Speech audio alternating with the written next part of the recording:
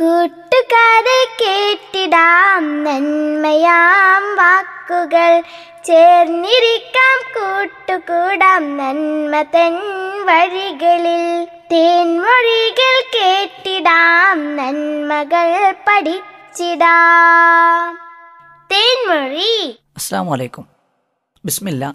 അലഹമില്ല കൂട്ടുകാരെ ഞാനൊരു കഥ പറഞ്ഞു തരട്ടെ മുബീൻ നല്ല കുട്ടിയായിരുന്നു. ഒരു ദിവസം അവൻ സ്കൂളിൽ വൈകിയെത്തി. ടീച്ചർ ചോദിച്ചപ്പോൾ അവൻ കള്ളം പറഞ്ഞു. ഞങ്ങൾ പോരുന്ന വണ്ടി എത്താൻ വൈകിയതാണ് ടീച്ചർ. പക്ഷേ യഥാർത്ഥത്തിൽ അവൻ കളിച്ചു നിന്ന് വൈകിയതായിരുന്നു. കുറച്ച് കഴിഞ്ഞപ്പോൾ ടീച്ചർ ക്ലാസ് എടുക്കാൻ തുടങ്ങി. ടീച്ചർ ഒരു കഥ പറഞ്ഞു. കളവ് പറഞ്ഞാൽ നരകത്തിൽ പോകുമെന്നും വലിയ ശിക്ഷകൾ കിട്ടുമെന്നും സ്വർഗത്തിന്റെ സുഖങ്ങളൊന്നും തന്നെ കിട്ടില്ലെന്നും ഒക്കെ ടീച്ചർ പഠിപ്പിച്ചു. ഇത് കേട്ട മുബീന് ഭയങ്കരമായി പേടിയായി. അവൻ ടീച്ചർ അടുക്കൽ ചെന്നു പറഞ്ഞു ടീച്ചറെ ഞാൻ രാവിലെ നേരം വൈകിയത് കളിച്ചു നിന്നിട്ടാണ് കേട്ടോ വണ്ടി വൈകിയത് കൊണ്ടല്ല. ഇനി ഞാൻ കളവ് പറയില്ല. എന്ന് ടീച്ചറോട് പറഞ്ഞു കൂട്ടുകാരെ ഇതുപോലെ അനുഭവങ്ങൾ നമുക്കും ഉണ്ടാകാറില്ലേ?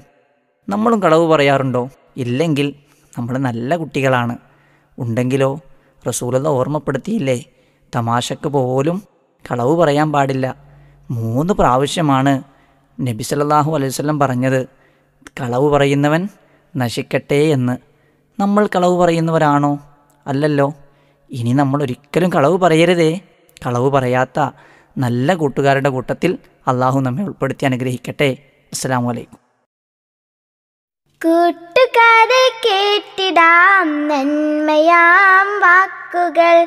ചേർന്നിരിക്കാം കൂട്ടുകൂടാം നന്മ തൻ വഴികളിൽ. തേൻമൊഴികൾ കേട്ടിടാം നന്മകൾ പഠിച്ചിടാം.